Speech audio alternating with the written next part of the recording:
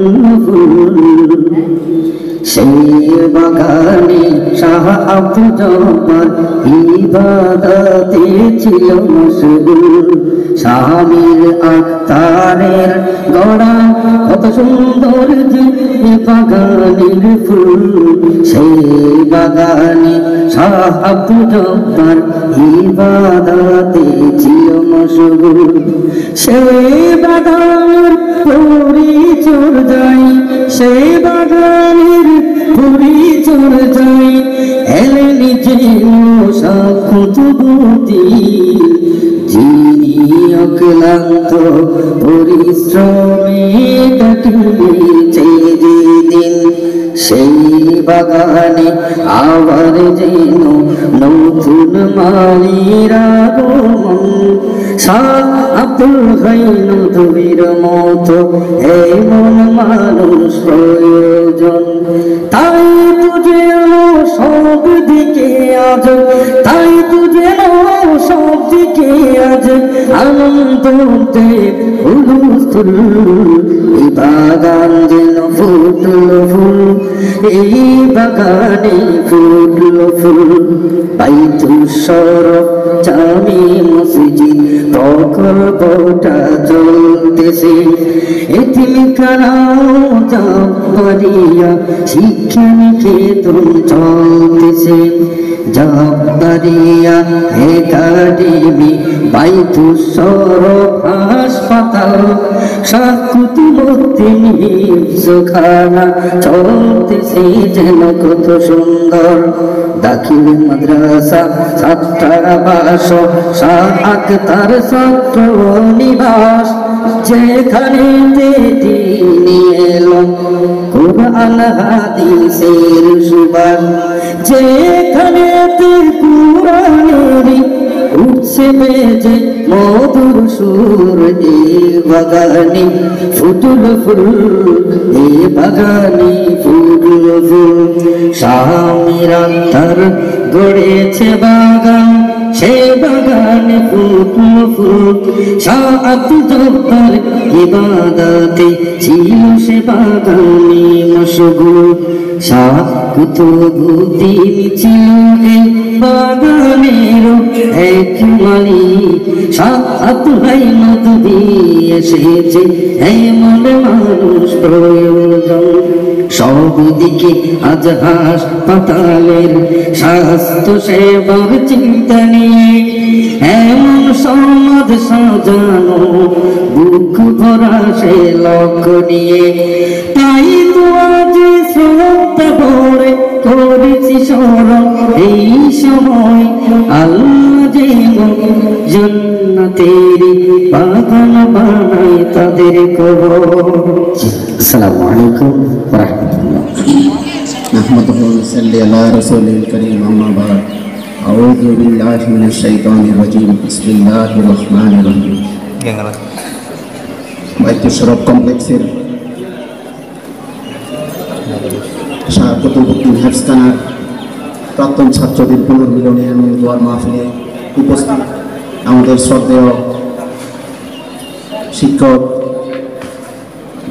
M M Sirajul Islam sir উপস্থিত আমাদের শাহ কুতুবুদ্দিন হেফসখানার সেক্রেটারি এন আলম, তারপর আমাদের সিনিয়র সাংবাদিক শারেক ভাই, আমাদের শাহ কুতুবুদ্দিনের ফরিদ ভাই, আর হসপিটালের পরিচালক, আরও বিভিন্ন মেহমানবৃন্দ উপস্থিত, আর আমাদের এই কোরআনের হ্যাপসের ছোট ছোট পাখি ভাইয়েরা এবং তাদের আত্মীয় স্বজন, পিতা এবং অতিথিবৃন্দ আসসালাম আলাইকুম রহমতুল্লাহ। আপনারা অনেকক্ষণ ধৈর্য ধরে বসে আছেন এটা আলহামদুলিল্লাহ। আর আমাদের শ্রদ্ধেয় স্যারের যে মূল্যবান কথা শুনেছি এর এরপরেও আর বেশিক্ষণ বক্তব্য দীর্ঘায়ী করব না আমরা শুধু বলতে চাই এই অত্র কমপ্লেক্সের শুরু থেকে যদি আপনারা চিন্তা করেন কোথায় ছিল একটা মসজিদ এতিমখানা স্যার অনেক কিছুই বলেছে। এত বড় কমপ্লেক্স হওয়ার পিছনে আল্লাহ তালার অশেষ মেহরবানি এবং রহমত ছাড়া কোনোদিন সম্ভব না। আর আমাদের সবচেয়ে স্যারের যে অক্লান্ত পরিশ্রমের ফল এটাই আজকে আমরা আজকে দেখতেছি। এই জন্য আমরা শ্রদ্ধেয় স্যারের জন্য বেশি বেশি দোয়া করব এবং তার দীর্ঘায়ু সুস্থতা কামনা করব। ইনশাল্লাহ সবাই বলি এটা। ইনশাল্লাহ আচ্ছা। আর আমার জীবনে আমি বেশিক্ষণ বক্তৃতা দিব না। শুধু হ্যাপস যারা করেছেন এবং করবেন তাদের জন্য শুধু একটা এক মিনিট কথা বলব। যারা হ্যাপস করতেছেন, তারা কোনোদিন নিজেকে ছোট মনে করবেন না। কারণ আমি আমার মেডিকেল লাইফে পড়াশোনা করতে গিয়ে দেখেছি হ্যাপসের গুরুত্ব। আমি যখন পড়াশোনা করতে গেছি, ওখানে আমার এক বন্ধু ছিল, কোরআনের হাফেজ। তার সাথে পড়াশোনা করতে গেলে আমরা যখন পড়াশোনা করছি, যে কোনো কোনো কোনো বড় বড় মুখস্থ করতে হয়, বড় কিছু ওখানে। এই হ্যাপস যিনি ছিল, হাফেজ আমার বন্ধু, তার মুখস্থ হয়ে যেত অল্প সময়ের মধ্যে। আমাদের সময় লাগতো অনেকক্ষণ। এই আমরা এই যে জিনিসটা আমাদের আধা ঘণ্টা লাগে, তার সম্বন্ধে পাঁচ মিনিটের মধ্যে মুখস্থ হয়ে যেত। আমার অবাক লাগতো। এই দেখেন আল্লাহর কেরামতি। এটা নিজেদেরকে কোনোদিন যারা হাফিজ করতেছেন, কোনোদিন ছোট মনে করবেন না। এটা আল্লাহ তালার বড় অনেক রহমত এবং বড় নিয়ামত। হ্যাপস করার পরেও নিজেকে মনে করবেন না যে অনেকে ছোট। হ্যাপস করার পরেও অনেকে মেডিকেলে হইতে পারবে, ডাক্তার হচ্ছে। ইঞ্জিনিয়ার হচ্ছে অ্যাডভোকেট হচ্ছে কোরআনের হাফেজ। প্রত্যেকটা সেক্টরে কোরআনের হাফেজ আছে। কোরআনের হাফেজ ছোটবেলা থেকেই করতে হয় এই জন্য যদি বেসটা ছোট শক্ত হয় মানে দিনের দাওয়াতের জন্য, দিনের জন্য, তাহলে পরবর্তীতে কোনো দিন ধর্ম থেকে বিচলিত হবে না। আমি মনে করি ইনশাল্লাহ সবাই কোরআনের হ্যাপসের জন্য সবাইকে, প্রত্যেক ফ্যামিলিতে আমি অনুরোধ করব কোরআনের হ্যাপস করার জন্য। পরবর্তীতে যদি সে ডাক্তার হইতে চায়, তাও সুযোগ আছে কিন্তু। কোনোদিন মানে আমি কোরআনের হাফেজ হয়েছি ওই মৌলবী হব মসজিদের ইমামতি করব কোরআনে এই সুযোগও আছে ডাক্তার ইঞ্জিনিয়ার হওয়ার সুযোগ আছে। ইনশাল্লাহ সবাই কোরআনের হ্যাপস করার জন্য এবং আশেপাশে যারা আছে আমাদের আত্মীয় স্বজন বন্ধু বান্ধব সবাইকে ইনশাল্লাহ দাওয়াত দিব কিনা? ইনশাল্লাহ আমরা দাওয়াত দিব। কোরআনের হ্যাপসের দিন যে দিন কোরআনের হ্যাপস করার পরে তারপরে তারা বাংলা মিডিয়ামে যাক ইংলিশ মিডিয়ামে যাক কোনো সব রাস্তাই খোলা আছে। তাদের জন্য এই কোরআনের হ্যাপস হইলে যে তারা মৌলবী হবে, এমন কোনো কথা নেই। আমি শুধু এটাই মনে বলতে চাচ্ছি সবাইকে। আর আজকের একটা এই বিশাল পুনর্মিলনী এবং দোয়ার মা মাহফিলে অনেক যারা যারা শরিক হয়ে আমাদের বিভিন্নভাবে সাহায্য সহযোগিতা করেছে, আর যারা আমাদের পরিচালক মিস্টার নাসির ভাই, মিস্টার রিদওয়ান ভাই, হাফিজ, হাফেজ রিদওয়ান, হাফেজ ইমরান ভাই, তাদেরকে আমি অন্য অশেষ মন্তরের অন্তঃস্থল থেকে ধন্যবাদ জানাচ্ছি। আর অনেক যদি ছোটোখাটো কোনো ভুল ত্রুটি হয়ে যায়, আমি ক্ষমা সুন্দর দৃষ্টিতে দেখবেন সবাই। এই বলে আমি আমার বক্তব্য শেষ করলাম। আল্লাহ হাফিজ। আজকের অনুষ্ঠানের সম্মানিত সভাপতি, বিশিষ্ট চিকিৎসক, আমার স্নেহের ডক্টর মিজানুর রহমান, আমাদের বিশিষ্ট আলেমেদিন, আজকের সম্মানিত বিশেষ অতিথি, কক্সবাজার বাইতেশ্বরফ শাহ কুতুবুদ্দিন আদর্শ আইন সম্মানিত জেনারেল সেক্রেটারি, মৌলানা নজরুল ইসলাম। কক্সবাজার শাহ কুতুবুদ্দিন খেফজখানার সম্মানিত সেক্রেটারি মোসনেহেদ মোহাম্মদুল আলম, কক্সবাজারের বিশ্ব সাংবাদিক, ইনকেলাবের কক্সবাজার বহু প্রধান, জনাব শামসুল হক সাহেব, আর বাইদেশ্বর কমপ্লেক্সের অন্যতম সহসভাপতি, বিশ্ব ব্যবসায়ী, জনাব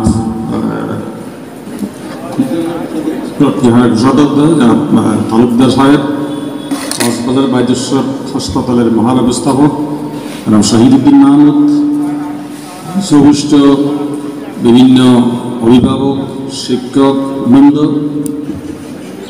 প্রাক্তন ছাত্র পরিষদের হাফিজ সাহেবেন এবং আজকের এই অনুষ্ঠানের প্রধান আকর্ষণ আমার ছোট্ট হাফিজ সাহেবেন মহান আল্লাহ তালার কাছে শুক্রিয়া আদায় করতেছি।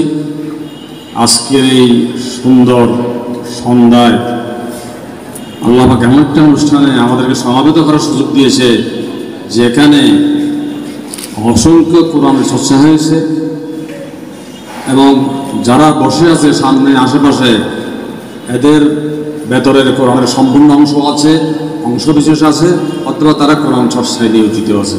আলহামদুলিল্লাহ আলহামদুলিল্লাহ আমাদের একজন সম্মানিত হাফেজ সুফি সাহেব বাংলাদেশের মাদ্রাসা শিক্ষার জন্ম ইতিহাস ঐতিহ্য এবং সব সম্পর্কে অনেক গুরুত্বপূর্ণ বক্তব্য রেখে গেছেন আমি তাকে ধন্যবাদ জানাই। আল্লাহ মানুষকে সুযোগ দেয় ছেড়ে দেয় সবকে ছেড়ে ছাড় দেয় কিন্তু ছেড়ে দেয় না। দুনিয়াতে আল্লাহ মানুষকে ছাড় দেয় সুযোগ দেয় একদম ছেড়ে দেয় নাই। সেই কোরআনের ইতিহাসের মধ্যে আছে, নম্রদ ইতিহাস, ফেরাউন ইতিহাস, এদেরকে অনেক সুযোগ দিয়েছিল আল্লাহ পাক সৎ পথে আসার জন্য। নমরুদ এদেরকে ফিরে আসার জন্য অনেক সুযোগ দিয়েছিল, কিন্তু তারা শুরু নাই। শেষ পর্যন্ত কিন্তু ছেড়ে দেয় নাই। আল্লাহ কাকেও ছেড়ে দেবে? না দুনিয়াতেও দেবে না আখরাতও দেবেই না। এটা কোরআনের আছে, যারা আলেম ওরা জানেন, আমি ওই পথে যাব না। আমরা এটাই জানি। তা আমরা সে আল্লাহর নির্দেশ, দুনিয়াতে নির্দেশ, আল্লাহর নির্দেশ পালন করার জন্য, কোরআন, হাদিসের আলোকে চলার জন্য। এবং আখেরাতে আমরা মুক্তির জন্য দুনিয়াতে আমরা যা কাজ করি, যুগে যুগে আল্লাহ নবী, রসুল আশিদিন এবং ফির অলিরা যে কাজ করে গেছেন নিজের এবং মানুষের কল্যাণের জন্য। তারই ধারাবাহিকতায় আজকের এই আমাদের এই প্রতিষ্ঠান বাইতেশ্বর কমপ্লেক্স কক্সবাজার সারা বাংলাদেশে পীর অলিয়ারা অনেক প্রতিষ্ঠান করে, যার ব্যতিক্রম একটা প্রতিষ্ঠান এই কক্সবাজার বাইতেশ্বর কমপ্লেক্স যেখানে প্রতিষ্ঠানটা শুরু শুরু হয়েছিল মসজিদ দিয়ে। সারা বাংলাদেশে এইভাবে শুরু করে আমাদের পীর মুর্শিদের বাইতেশ্বর এভাবে শুরু হয়, একটা মসজিদ দিয়ে শুরু হয়। তারপর আমরা চলে যাই কি? যে আল্লাহর হাতি বন্দা যে তিনদেরকে নিয়ে এটা বাইতেশ্বরের একটা ঐতিহ্য, মা- মসজিদ দিনখানা। তারপর শুরু হয় কি? হেফজোহানা আল্লাহর কোরআন তারপর ধর্মীয় মাদ্রাসা, তারপর মা দুনিয়াবী শিক্ষা একাডেমি, স্কুল এবং মানুষের চিকিৎসা সেবা, মানুষের সেবার জন্য হাসপাতাল। তার সব কিছুই কক্সবাজার বাইতেশ্বর আছে। আলহামদুলিল্লাহ বলে আলহামদুলিল্লাহ। এখানে কিসের অভাব আছে? নাই। আজকে প্রাক্তন ছাত্র পরিষদ ইমহানা প্রাক্তন ছাত্র পরিষদ একটা সুন্দর আমাদের নূতন এবং প্রাতন প্রাক্তন এই কোরআন চর্চাকারীদের একত্রিত করার সুযোগ করে- করে দিয়েছে। এই জন্য আমি তাদেরকে আন্তরিক ধন্যবাদ জানাই এবং যারা আমাদের সভাপতি সেক্রেটারি এবং শিক্ষকবৃন্দ যারা এর ব্যবস্থা করছে, তাদেরকেও আন্তরিক ধন্যবাদ এবং কৃতজ্ঞতা জানাই একটা সুন্দর অনুষ্ঠান করার জন্য। আমার অনুষ্ঠানটা অনেক বড় করার ইচ্ছা ছিল। আমাদের সুযোগ সব কিছু আছে। তারপরেও আমরা বেশি বড় করতে পারি এই কারণে এই যে গেল দুই বছর গেল করোনা। তারপর সামনে রমজান। এর ভেতরে আমাকে বলছিল নাসির সাহেব, বলে যে, স্যার, আমরা করতেছি, ছেলেরা করতেছে। হ্যাঁ করতেছে যখন তাদেরকে তাদেরকে নিষেধ করো না, করতে দাও। তবে যতটুকু করা দরকার, ততটুকু সহযোগিতা এখন করা যাবে না। কি কারণে? দেশের পরিবেশ পরিস্থিতি এখনও পর্যন্ত সম্পূর্ণ সুন্দর হয়নি। আমরা বাইতেশ্বর একাডেমির এখানে এই স্বাধীনতার অনেক অনুষ্ঠানকে বাদ দিয়েছি আমরা। আমরা স্পোর্টসের বড় বড় অনুষ্ঠানগুলো বাদ দিয়ে দিয়েছি। তারপরও এর ভেতরে কি আল্লাহর রহমত, এই যে হেফজখানার যে অনুষ্ঠানটা যে হলো, এটা আল্লাহর রহমত ছাড়া আর কিছু নয়। আমি তাদেরকে আবার ধন্যবাদ জানাই। শুক্রিয়া জানাই মহান আল্লাহ তালার কাছে। এই হেফজখানা আমরা যে এতিমখানা করেছিলাম আবুজুর কাপড়ার নির্দেশে বাইতুশ্বর জফারি এতিমখানা। এতিমখানার থেকে সারা বাংলাদেশে অনেক এতিমখানা আছে। কক্সবাজার এতিমখানা কিন্তু সেই এতিমখানা নয়। আমরা এতিমখানাটাকে এইভাবে আমরা ওজোর নির্দেশে স্বপ্ন ছিল যে আমার ওজোর বলেছিল তুমি এতিমখানা করবা এতিমগুলা লেখাপড়া করবে, তারপর কি করবে, কোথায় যাবে কি শেখাবে শুধু আমাদের এখানে রাখলাম দুটা খাবার, দুটা ভাত খেয়ে এলাম কিছু ধর্মীয় লেখাপড়া, কিছু দুনিয়া লেখা শিখেলাম। এরপরে তারা কি করবে? কিন্তু আমাদের কি করতে হবে? তাকে দুনিয়াবি ধর্মীয় এবং আধুনিক প্রযুক্তি শিক্ষার ব্যবস্থা করা। সেই জন্য এই তিনটে জন্য আমরা করেছিলাম আজকের এই বাদেশ্বর জাপারি একাডেমি। এই একাডেমি আগে নাম ছিল এতিম একাডেমি। লেখা ছিল জব্বারি একাডেমি নিচে লেখা ছিল only for all for education এটা আমরা আমেরিকা পাঠাছিলাম। ওজেট বাংলাদেশ, ইউএসএ আমাকে একটা সাহায্য করেছিল। ইংরেজি যদি লেখানে পাঠাছিলাম এটা কি? তা এটা Jabbari academy only for orphan education সেই জন্য তারা আমাদেরকে সাড়ে সাত লাখ টাকা দিয়েছিল এটা দেখার জন্য। পরবর্তী আমরা দেখলাম, হুজুর কাল্লা বলল যে হ্যাঁ তাদেরকে তিনখানে রাখবে ঠিকই। এই তিনখানে বাংলাদেশে আছে অনেক জায়গায়। এরা শুধু খাতে সবে কিছু ধর্মে লেখাপড়া করবে। এতে তো আর এরা মানুষ হবে না। আচ্ছা তাদের কি করতে হবে? আমরা একাডেমির মধ্যে দিনের সঙ্গে আধুনিক শিক্ষা এবং জাতি ধর্ম নির্বিশেষে ছেলে মেয়ে একসঙ্গে লেখাপড়ার ব্যবস্থা করলাম। এটা বাংলাদেশের মধ্যে ব্যতিক্রম। এখানে মুসলমান ছেলেরা পড়ে, হিন্দু ছেলেরা পড়ে, খ্রিস্টানেরা পড়ে, তারপরে বৌদ্ধরা পড়ে, খ্রিস্টান পড়ে। এখানে চল্লিশ জন খ্রিস্টান ছেলে আছে আমাদের একাডেমিতে কক্সবাজারে কোনো প্রতিষ্ঠান অথচ ধর্মীয় প্রতিষ্ঠান, এটা বিরাউলের প্রতিষ্ঠান। এতে আমাদের কোনো অসুবিধা না। আমার এই তিন মাসের ছেলেরা আমেরিকায় লেখাপড়া করে, ঢাকা বিশ্ববিদ্যালয়ে লেখাপড়া করে, বুয়েটে লেখাপড়া করে কলে বিদ্যুতে চাকরি করে, বড় বড় প্রতিষ্ঠানে চাকরি করে। এটা কি কারণে সম্ভব হয়েছে? এই তিন খান এই তিনদের জন্য আমরা একাডেমি করেছিলাম সে দুনিয়াবি এবং প্রযুক্তিগত শিক্ষা লাভ করেছে। সেই এতিমখানার প্রতিষ্ঠার সার্থকতা আমরা পেয়েছি। আজকে আমরা হাইদেশ্বর মরহুম শাহ কুতুবুদ্দিন সাহেব এসে ওদের হাসপাতাল করেছ একাডেমি করেছ তিনখানে করেছ সব কিছু হয়েছে। এই যে কোরআন চর্চা না করলে এই প্রতিষ্ঠানের আয় বরবত থাকবে না। ঠিক। দুনিয়াতে যদি কোরআন চর্চা না হয় ধর্মীয় প্রতিষ্ঠান না হয় তাহলে এই ইসলাম পৃথিবীতে টিকে থাকবে না। আজকে আমরা যত খুশি করি না কেন মুসলমান ইসলাম ধর্ম আছে বলে সারা পৃথিবীতে আল্লাহকে স্বীকার করতে শুধু মুসলমানেরা খ্রিস্টানদেরও খেতাব আছে, আসমানি খেতাব আছে, ইহুদিদেরও আছে। তারপরে এই বুদ্ধদের তো আসমানি কিতাব নাই, তাদেরও আছে, সেখানে ভালো ভালো জিনিস আছে। খ্রিস্টানদের আছে, ইহুদিদের আছে, মুসলিম আসমানি কিতাব আছে। কিন্তু আল্লাহকে স্বীকার করে একমাত্র মুসলমান। তার প্রমাণ? সিরিয়ে দেখেন, তারা কোনো ধর্মীয় প্রতিষ্ঠান তাদের বৌদ্ধ ধর্মীয় প্রতিষ্ঠানও তারা রাখে না, মুসলিম ধর্ম প্রতিষ্ঠান আগেই নেই। আর ইহুদিরা না মাত্র তারা তৌরত না তৌরতের কথা বলতেছে।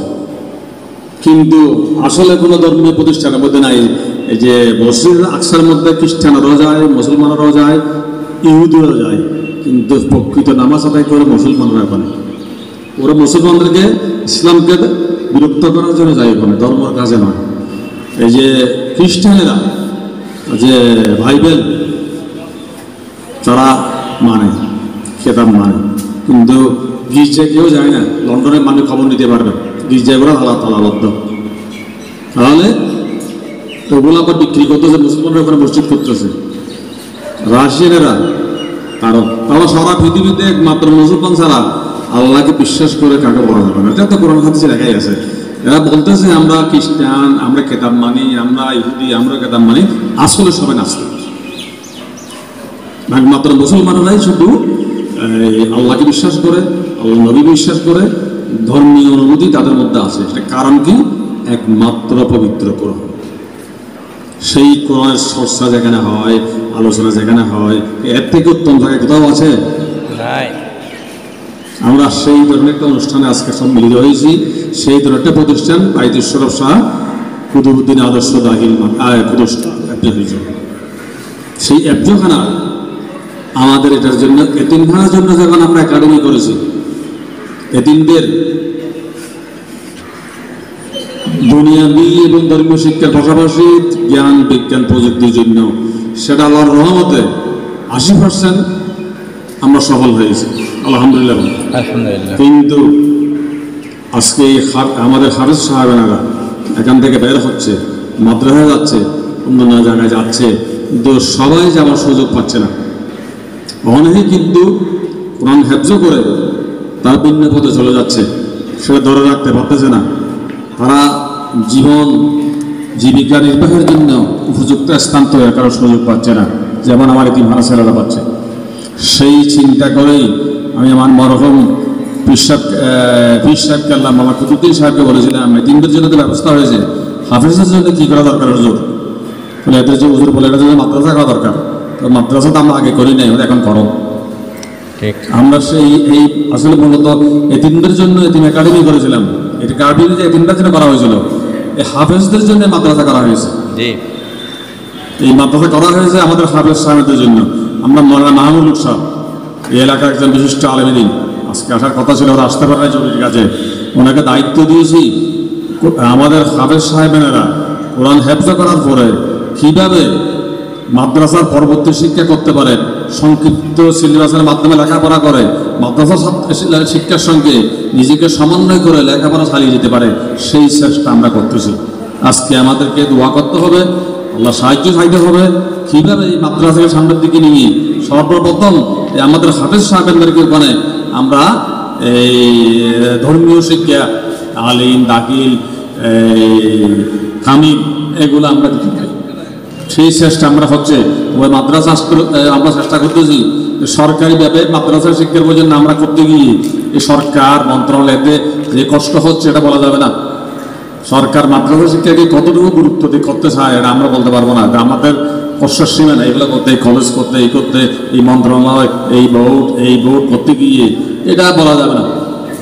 যা হোক, আমরা তারপরও আমরা যে আল্লাহর ভরসা করে আমাদের পীর মসজিদের দোয়ায়, আমাদের সবার সহযোগিতা নিয়ে আমরা এগিয়ে যাচ্ছি।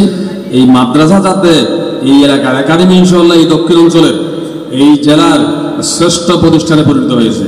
শিক্ষা, সংস্কৃতি, কারিগরি শিক্ষা, প্রযুক্তি, বিজ্ঞান নিয়ে এই জেলার মধ্যে এই প্রতিষ্ঠানে দ্বারা কাছে কেউ নাই। কেউ বললেও হবে না।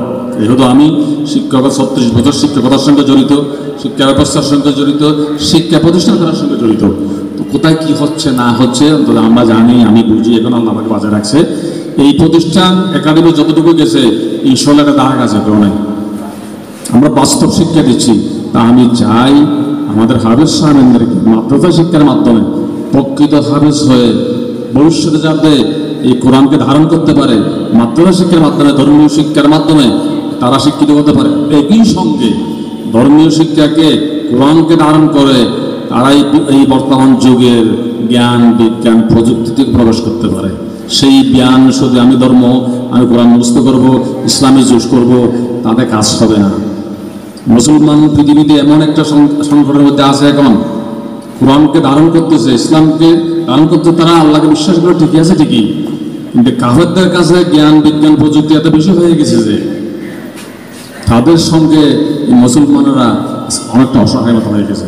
আমাদের মুসলমানদেরকে কোরআন, হাদিস, শিক্ষার পাশাপাশি ইসলামিক জ্ঞানে বলিয়ান হয়ে আধুনিক জ্ঞান বিজ্ঞান চর্চার সুযোগ করতে হবে। আমি আমার মাই আমাদের মাদ্রাসায়, আমরা সেটা চেষ্টা করতে করতেছি আল্লাহ যদি আমাদের বাজায় রাখে হয়াত দেয় আমরা আমার সঙ্গে যারা আছে, সেই কোরআন শিক্ষা, ধর্মীয় শিক্ষা, সঙ্গে সঙ্গে ওই মাদ্রাসার বিজ্ঞান, কারিগরি শিক্ষায় যারা শিক্ষিত হতে পারে, এই হাফেজ সাহেবদেরকে যেন এখান থেকে বের হওয়ার পরে জীবন জীবিকার জন্য যেন কোথাও কারও কাছে মুখাপেক্ষি হতে না হয়। যারা তাদের স্বয়ং সম্পূর্ণ শিক্ষা লাভ করতে পারে। আমার সেই চেষ্টা এখানে আমার মাথার মধ্যে আছে। যেটা দিন ভেড়ার জন্য আমরা করেছিলাম, আমার ওজোর নির্দেশে। মরহুম আমাদের সাবুল জাফর রহমান আলী যিনি মহান সংস্কার, সমাজ সংস্কারক, মহান আধ্যাত্মিক সাধক এবং মহান অলি, যার হাত ধরে আমরা এখানে প্রবেশ করেছি। এবং যার বদৌলতে, যার দয়ায়, দোয়ায় এই বাগেশ্বর আজকে এই জেলাখার একটা শ্রেষ্ঠ প্রতিষ্ঠান হয়েছে। এবং তারই ধারাবাহিকতায় আমাদের মরহুম ফিরসাদ কেবলা। শাহ মোল্লা কুতুবুদ্দিন মতারুল আলী। ওনারই হাতে প্রতিষ্ঠিত এই মাসা কুতুবুদ্দিন মাদ্রাসা কুতুবুদ্দিন হেফজখানা উদ্দেশ্য একই। মরহুম এই তিনদেরকে আধুনিক শিক্ষা দেওয়ার জন্য এবং সমাজে প্রতিষ্ঠা করার জন্য বলেছিলাম।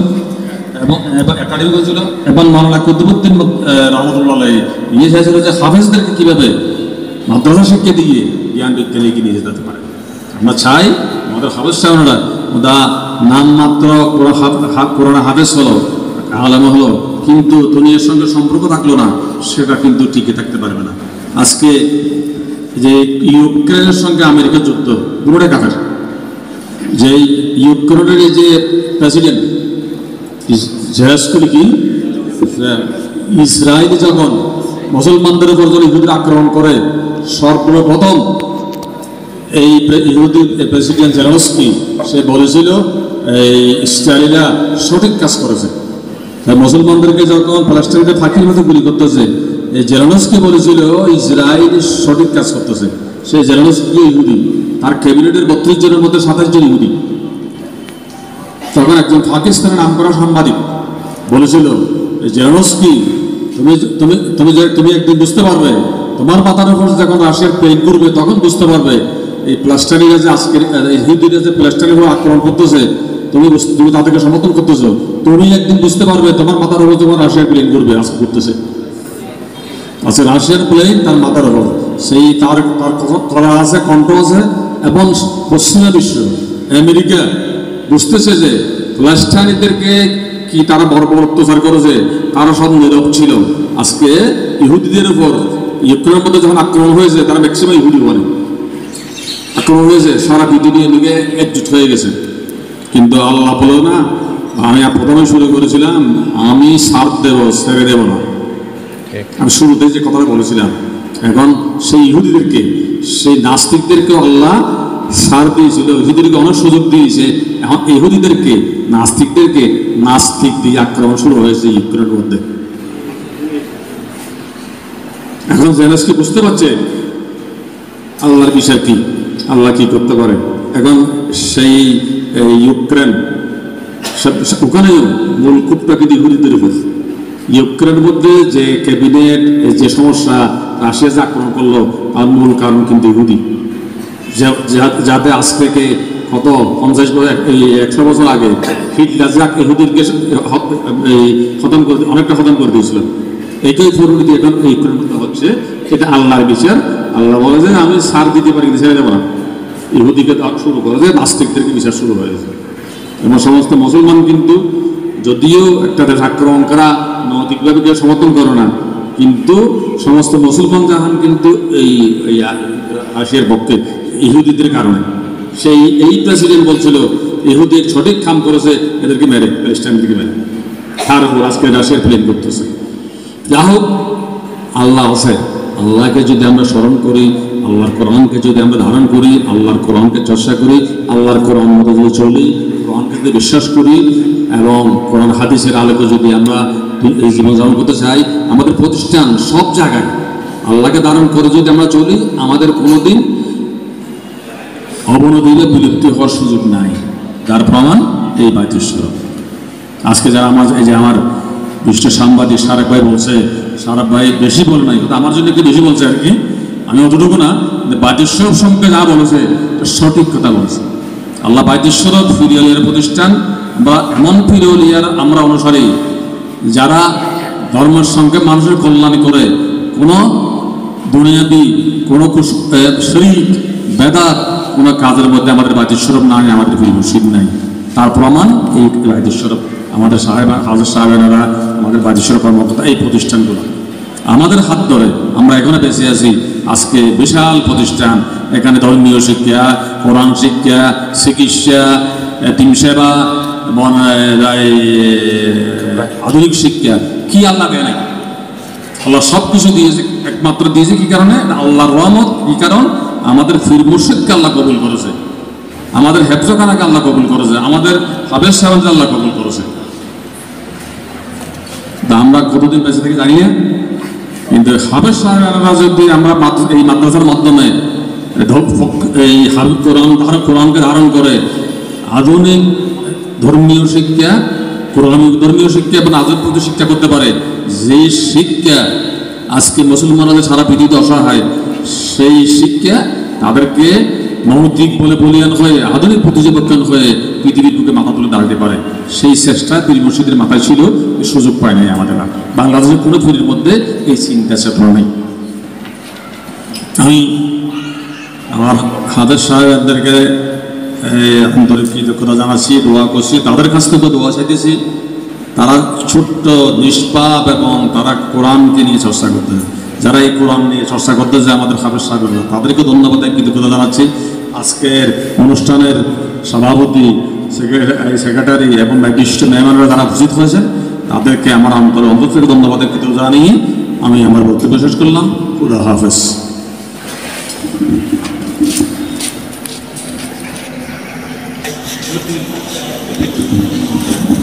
হ্যাঁ আমি বক্তব্য শেষ করলে আমার একটা আমাদের এই, নাসির সাহেব একটা এই প্রস্তাব নিয়েছিল এই বাইদেশ্বরের প্রত্যেকের স্বতন্ত্র ভবন আছে। এই একাডেমি ভবন আছে মাদ্রাসা ভবন আছে তিনখানা ভবন আছে তারপরে হোস্টেল ভবন আছে। হেফজখান একটা ভবন নাই? হ্যাঁ আল্লাহ রহমত। আমরা আমি সেটা আমার যারা সহকর্মী যারা সবার কাছে সবাইকে আমি স্মরণ রাখতে বলছি আল্লাহ আমরা দ্রুত চেষ্টা করব হেফজখানার জন্য যেন একটা আলাদা ভবন হয়। এবং আমি আল্লাহর এই আমি আল্লাহ কতদিন বাসায় জানি না। আমি চেষ্টা করব অতি দ্রুত এই হেফজখানা ভবনটাকে স্বয়ং সম্পূর্ণ একটা ভবনে পরিণত করার জন্য, একটা ভবন ভবন দেওয়ার জন্য। আমি আল্লাহ সাহায্য চাইতেছি। আমার এই সহকর্মীদের সাহায্য সহযোগিতা সাহায্য চাইতেছি। এটা অত্যন্ত প্রয়োজন এবং ইনশাল্লাহ আমরা সেটা করব। আমরা এই গত কয়েকদিন আগে একটা খারাপ প্রতিযোগিতা গিয়েছিলাম। সবও ছিল, আমরা গিয়েছিলাম বিভিন্ন এই যে হেফসখানার এই যে ছাত্র ছাত্রীরা কত সুন্দর যে এই খারাপ প্রতিযোগিতায় পুরস্কার এবং অনেক ক্যাশ প্রত্যেকটাকে ক্যাশ দিয়েছে, সুন্দর সুন্দর খারাপ করেছে, কত সুন্দর অনুষ্ঠান করেছে পাহাড়ের ভিতরে, তাও আমাদের মানে একজন ছাত্র, সেলিম সেলিম উদ্দিন সেলিম উদ্দিন, কত সুন্দর করে করেছে দেখলাম আমরা। তবে এখানে এই এই মঞ্চে যেভাবে মঞ্চটা করা হয়েছে, এখানে আগামী বুধবার এই এই বিদ্যালয়ের, এটা তো বলতে গেলে যে এলাকার বৃহত্তম শিক্ষা প্রতিষ্ঠান, এখানে পাঁচ হাজার ছাত্রছাত্রী আছে। এখানে এই ছাত্রদের গণিত olympiad, physics olympiad, chemistry olympiad অনুষ্ঠিত হবে আগামী বুধবার। দুইটা থেকে এই জন্য প্যান্ডেল করা হয়েছে। বিরাট হবে, এখানে কয়েক হাজার ছাত্র একসঙ্গে এই প্রতিযোগিতাতে অংশগ্রহণ অলরেডি প্রতিযোগিতা চলতেছে। তা আমরা বহুদিন আগে থেকে আমাদের একটা স্বপ্ন ছিল, এই মোটামুটি আগে আমাদের কোন বাইজের এটা রামপুর সরব আমাদের এক- একটি মাঠ থেকে গাড়ির থেকে ছাত্রদের তখন একটা প্রতিযোগিতা এই, শাহ আব্দুল জব্বার মেধাবৃত্তি স্মৃতি মেধাবৃত্তি। এটা দুই চার বছর পর একটা বড় খরচের ব্যাপার এখান থেকে নিত আনতো ওখানে প্রতিযোগিতা বহু সমস্যার ব্যাপার আরও গ্রামের ভেতরে। আমরা এখন সেই প্রতিযোগিতাটা এখানে বাইজেশ্বরবের তিনজন পীরকে বাইজেশ্বরবের তিনজন পীর মানে বাইজেশ্বরবের তিনজন রত্ন। ত্রিজ তিনজন রত্নই আমার থেকে চলে গেছে। অর্থাৎ বাইজেশ্বর যুগ বলতে গেলে ত্রিরত্নের সঙ্গেই চলে গেছে। তাদের স্মৃতিকে ধারণ করে ধরে রাখার জন্য আমরা একটা ত্রিরত্ন গণভাড়াকার করেছি। ত্রিরত্ন ত্রিরত্ন বলতে সবাই জানে না। এটা পরে আমরা ব্যাখ্যা করব, জেনে দেবো। আমাদের তিনজন রত্ন বাইজেশ্বরের প্রতিষ্ঠাতা শাহ কুতুবুল আলম শাহসবি হজরত মীর আক্তার রহমুল আলহী যার নাম আমাদের হোস্টেল আছে। আমাদের এই ফুরকানি মাদ্রাসা আছে। বাইজেশ্বরের প্রধান রূপকার।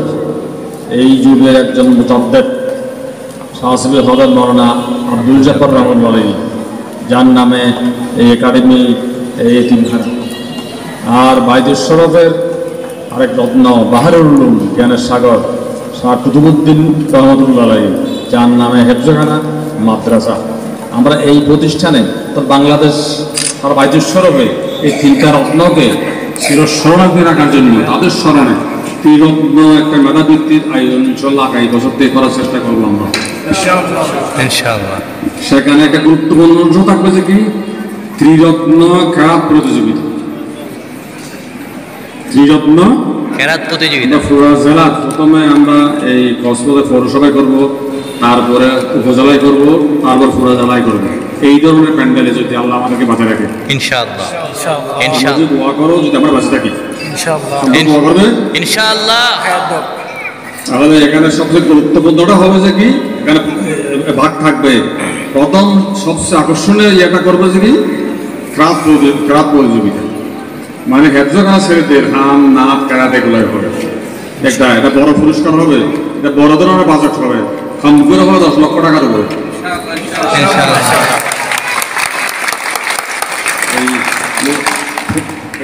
গুরুত্বপূর্ণ ক্যাচ দেওয়া হবে সার্টিফিকেট দেওয়া হবে আরও অনেক পুরস্কার দেওয়া হবে সেভাবে তারপর আসবে যে জ্ঞান প্রযুক্তির পুরস্কার বিজ্ঞান কারিগরি তারপরে ফিজিক্স কেমিস্ট্রি এগুলোর প্রতিযোগিতা যার একটা অংশ আগামী দুটো হবে আমরা অন্যান্য বড় প্রতিষ্ঠান এই প্রতিযোগিতা বাদ দিয়েছি এবার। অনুষ্ঠান বাদ দিয়েছি, কিন্তু মেধাব প্রতিযোগিতা জ্ঞান প্রতিযোগিতাটা বাদ দিইনি। ভবিষ্যতে হাফেজ সাহেবানদের এই প্রতিযোগিতা সহ এই এই বাইদেশ্বর এই মঞ্চেই আল্লাহ যদি আল্লাহর রহমতে আল্লাহর সহযোগিতা নিয়ে সাহায্য নিয়ে আমরা আশা করি এই ত্রি আমাদের ত্রিরত্ন ত্রিরত্নকে স্মরণ করে ত্রিরত্ন মেধা প্রতিযোগিতা এখানে ইনশাল্লাহ অনুষ্ঠিত হবে।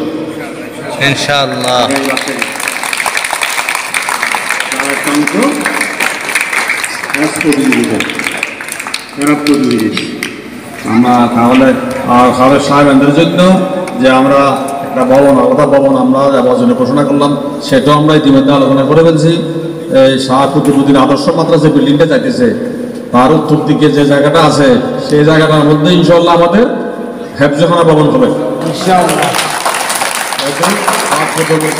হেফজখানা ভবন শাহ কুতুবুদ্দিন মাদ্রাসা ভবন এক জায়গায় নিয়ে যাব আমরা। ঠিক আছে? আমরা নাকি ওখানে জি। নাকি অন্য জায়গায় যাও। ওখানে নিয়ে যাব ইনশাল্লাহ আমাদের প্রাক্তন ছাত্র পরিষদ যারা এই অনুষ্ঠান আয়োজন করেছে আমরা তাদের তারা তাদের থেকে দোয়া চাইতেছি তোমাদের দোয়া চাইতেছি। আগামী অনুষ্ঠানের আগে যাতে আমরা ওই হেফজাখানা খবরটা যেন আল্লাহ আমাদেরকে দেখার সুযোগ করে দেয়। ইনশাআল্লাহ।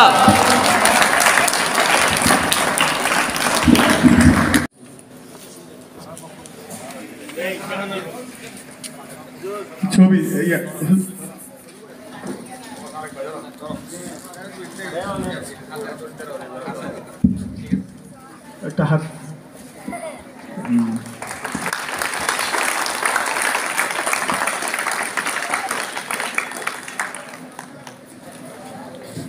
প্রতিশ্রুতি আমাদেরকে দিয়েছেন এবং যে সমস্ত পরি- পরিকল্পনা পবিত্র কোরআনকে নিয়ে তিনি করেছেন আল্লাহ বা ভবিষ্যতে তা বাস্তবায়ন করার জন্য তৌফিক দান করেন সকলে বলুন, আমিন اللهم امين اللهم انت السلام ومنك السلام تبارك يا ذا الجلال والاكرام আল্লাহ পাক আজকের এই মাহফিলকে তুমি কবুল করো আল্লাহ পাক আজকের এই মাহফিলকে কালকের কিয়ামতের ময়দানে আমাদের সকলের জন্য নিজাত বিশ্বরা বানিয়ে দিও আল্লাহ আমিন আমরা শুধুমাত্র প্রিয় ছোট ছোট কুচকুচি বাচ্চাদেরকে বিনোদনের মাধ্যমে তুমি আহ, তুমি আল্লাহর রেজামন্দি হাসিলের উদ্দেশ্যে উদ্দেশ্যে আজকে এত বড় একটা আয়োজন রব্বুল আলমী তুমি কবুল করো। রব্বুল আলমিন আজকে মঞ্চে যত অতিথিবৃন্দ সভাপতি সহ এখানে উপস্থিত হয়েছেন রব্বুল আলমিন তুমি তাদের মনের বাসনাকে তুমি কবুল করো। যে সমস্ত মেহমান বৃন্দ এখানে এসেছেন উপস্থিত হয়েছেন রব্বুল আলমিন তাদের মনের বাসনা তুমি কবুল করো। আল্লাহ। এই বাড়িতে সড়ক দরবারকে তুমি কবুল করো আল্লাহ। বিশেষ করে আমাদের এই বাড়িতে সড়ক কমপ্লেক্সে তুমি কবুল করো। আমাদের ত্রিরত্ন মহোদয়গণে পৃথিবী থেকে বিদায় নিয়ে গেছেন রব্বুল আলমিন তাদের কবরকে তুমি জান্নাতের টুকরো বানাই দিও আল্লাহ বর্তমান ঢাকার বাড়িতে সড়ককে তুমি কবুল করো আল্লাহ। রব্বুল আলমিন আমাদের সকলের হৃদয়ের স্পন্দন আজকের অনুষ্ঠানের মাধ্যমে আমাদের সিরাজ স্যারের হায়াত তৈরি কামনা করতেছি আল্লাহ। আল্লাহ আমাদের স্যারের হায়াতের মধ্যে তুমি বরকত দান করো আল্লাহ। রব্বুল আলামিন যতদিন দুনিয়ার মধ্যে বেঁচে থাকবে সুস্থ শরীর যেন তার ভিতরে থাকে সুস্থ মস্তিষ্ক যেন থাকে সুস্থ মস্তিষ্কের মাধ্যমে তার পরিকল্পনা যে সমস্ত পরিকল্পনার মধ্যে আছে সমস্ত কাজ বাস্তবায়ন করার তৌফিক আনায়ত করো আল্লাহ আল্লাহ পাক তার ডানে বামে যত সদস্য বৃন্দ আছে রব্বুল আলামিন তাদের সবাইকে সর্বোচ্চ সহযোগিতা করার তৌফিক দান করো আল্লাহ বিজয় সুবহান রব্বিকা রব্বিল ইজ্জাতি আম্মা ইয়াসিফুন ওয়া সালামুন আলাল মুরসালিন والحمد لله رب العالمين برحمته